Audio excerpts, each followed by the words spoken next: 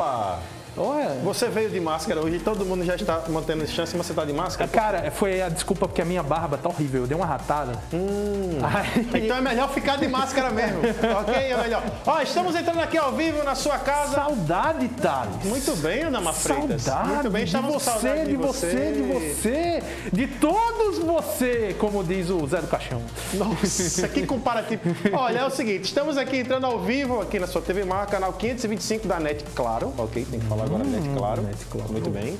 Ou é. então diretamente do app da TV Mar Isso. ou do portal Gazeta Web. Gazeta Web, exatamente. Para todo mundo. Exatamente, para todo mundo mesmo. Hum. Né? Porque a galera acha que só em Maceió que rola. Não, você Não, cara. Tem gente que assiste a gente de Recife, tem uma galera de Recife, é. de uma pessoa. O Léo Palmeira uma vez falou de uma galera de Portugal, né? Que sim, a gente assiste sim, a gente sim. aqui para matar a saudade. Muito bacana. Então fica aqui logo nossas nossa entrada se chutando na porta da frente, é, né? cara, nosso abraço efusivo, aquela agarrada por trás, aquele beijo na nuca. Nossa, aquele beijo naquele lugar escuro e úmido onde o sol não bate. O bang é aquela fungada no seu cangote na quinta-feira à tarde. Como diria o Marcelo Neves, que daqui a pouco vai adentrar aqui no é. estúdio. É, estamos chegando aqui na hora daquele arroz com feijão e carne acebolada. Ô, fala você... não, que eu tô morrendo de fome, velho. Oh, eu não comi antes de Coloca aqui na tela o nosso site para começar, vamos ver as notícias. Isso! As notícias nerds do dia aí. Vamos lá, vamos um beijão. Olha, antes, antes de, de, subir aí no site, enquanto ele sobe, né? Eu queria mandar aquele efusivo abraço para toda a equipe de produção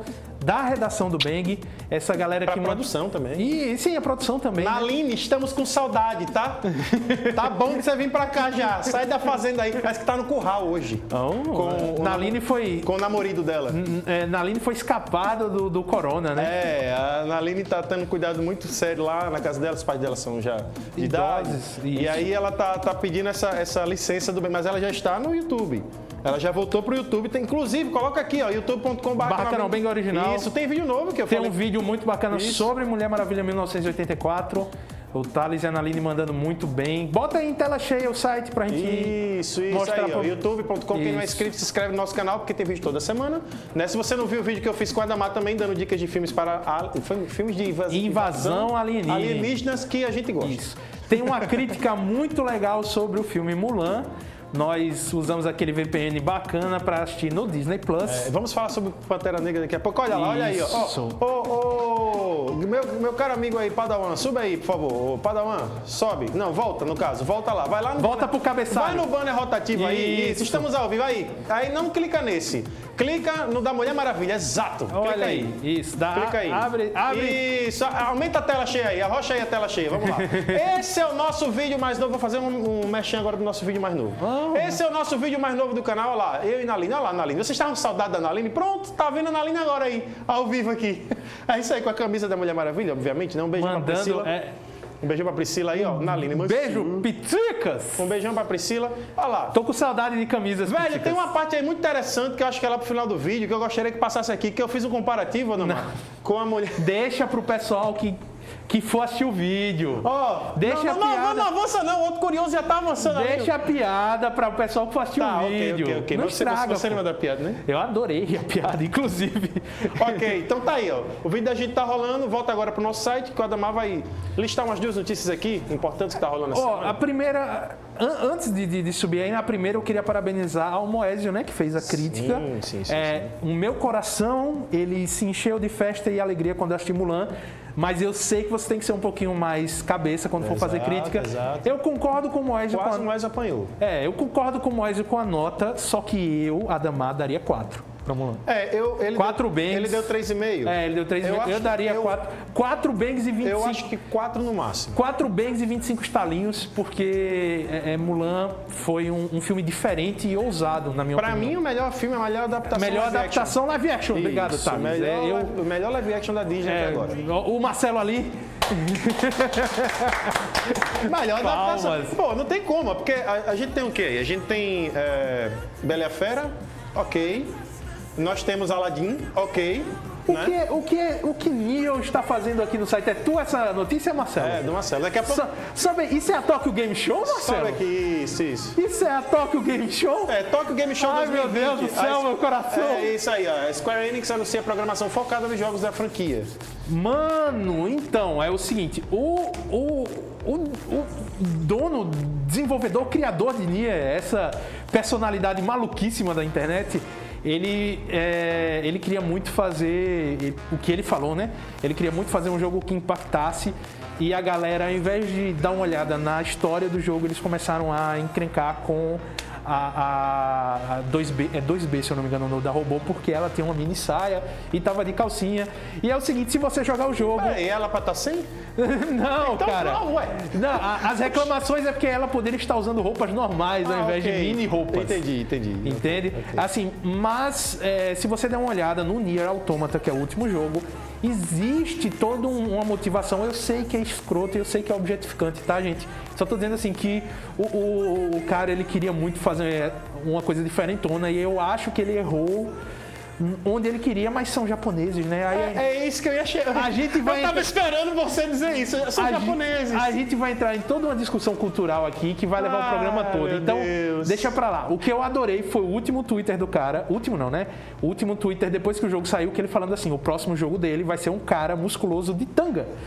Hentai! ok? Isso é et. É et. Ok, tá, ah, é velho, ah, ok. Não é hentai. Começa assim, mas o significado da palavra. Ah, Entendeu? É, Eu tô no é, significado. Seu pervertido da... maluco. É, exatamente. Você lembrou do Trinity Blood, né? É. O padre, ok. E a galera do. e, e, a galera da Square anunciou já que vai retomar aí, né? O Marcelo botou essa notícia muito bacana que eles vão retomar a franquia Nia Automata, que na minha modesta opinião foi uma excelente surpresa. Pode botar o site aí. Põe o site aí, para puxar um aqui.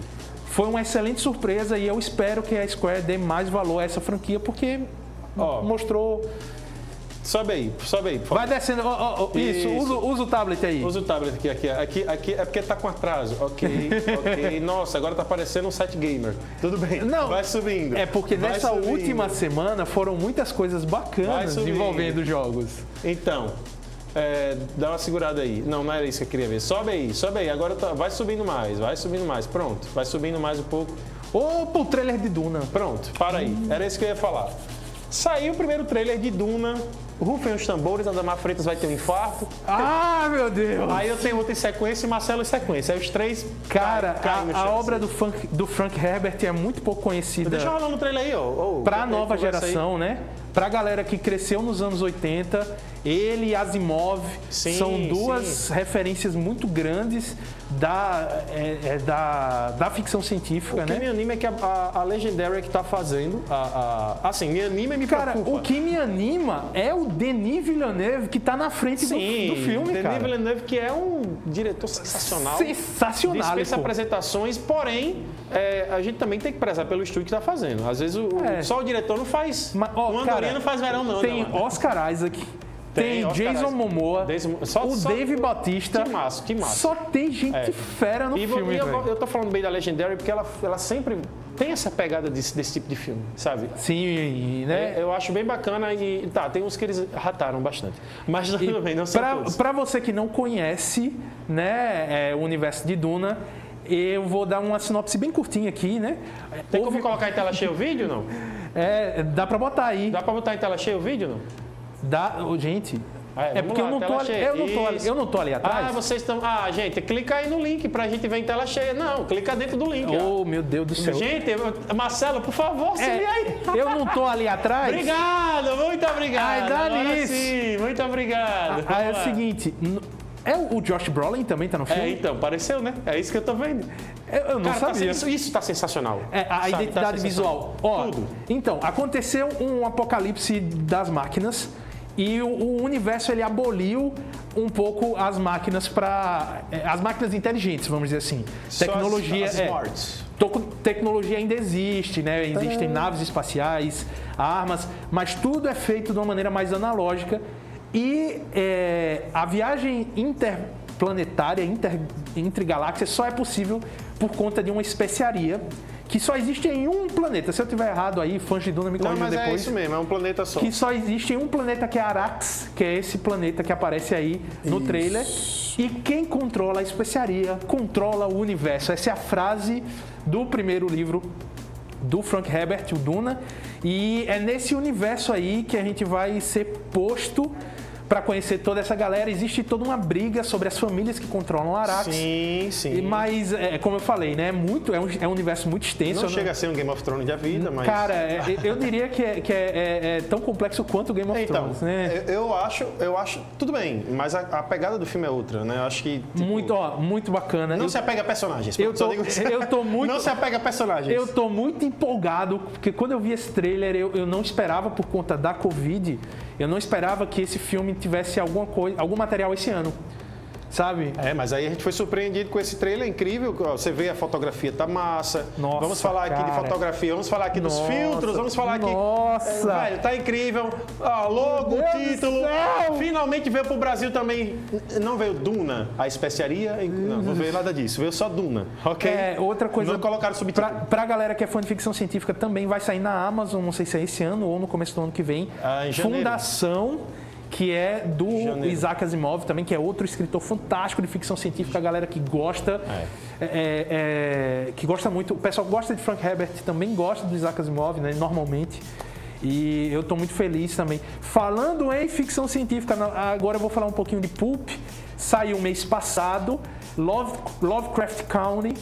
É, eu acho que a minha pronúncia em inglês está correta, a Analine não está aqui para me corrigir que é uma série que é baseada num cara que se inspirou no universo de H.P. Lovecraft para criar para criar suas obras. Aí essa série da HBO é baseada nesse cara, que é fãzão do Lovecraft. E, e, e assim, as críticas do primeiro episódio são fantásticas. O primeiro episódio está disponível de graça.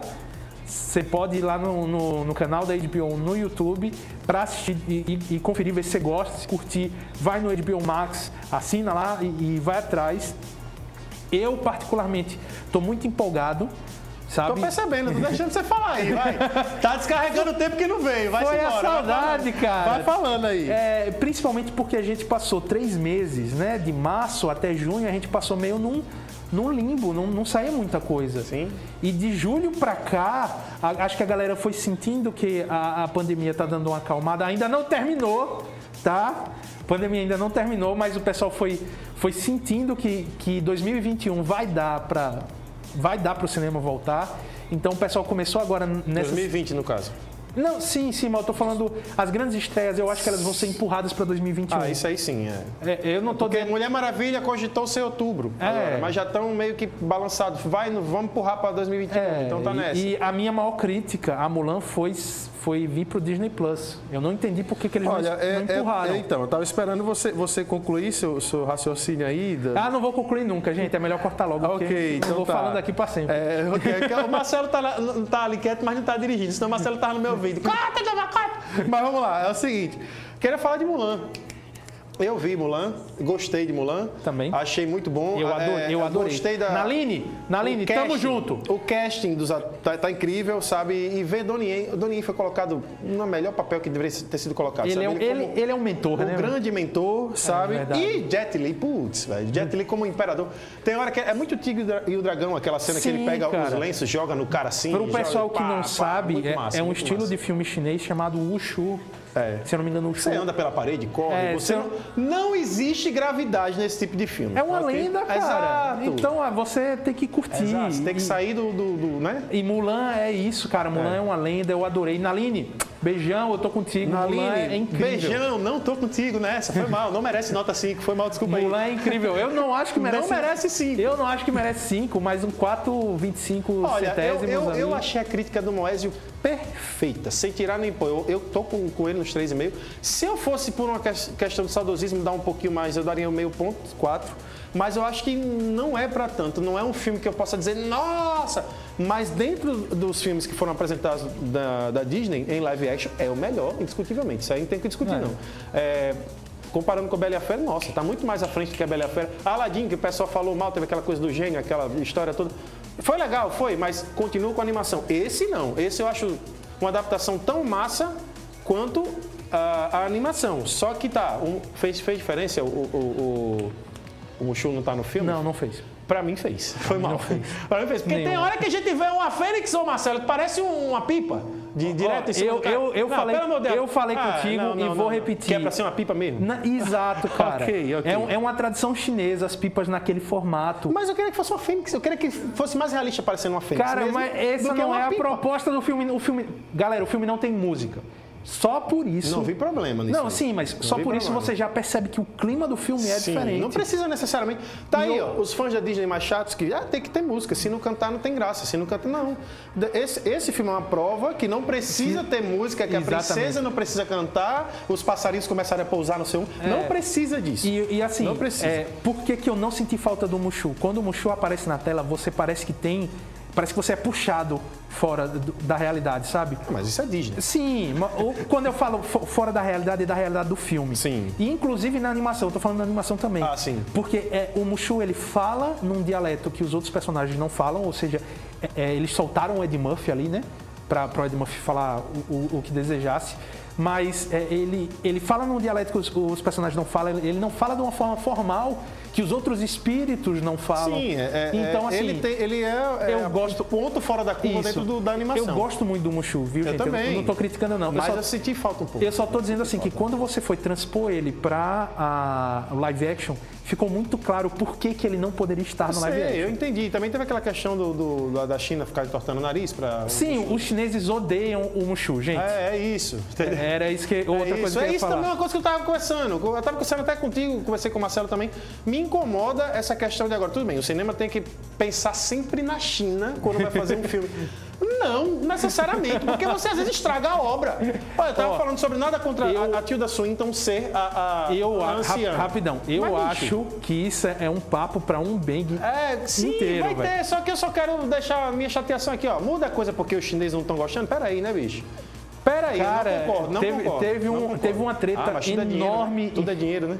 Teve uma treta enorme em 2019 sobre a China controlar o mercado, entendeu? Eu estou Então- falando isso, eu não concordo. Eu acho muito errado. Tipo, por exemplo, perde às vezes a essência do filme.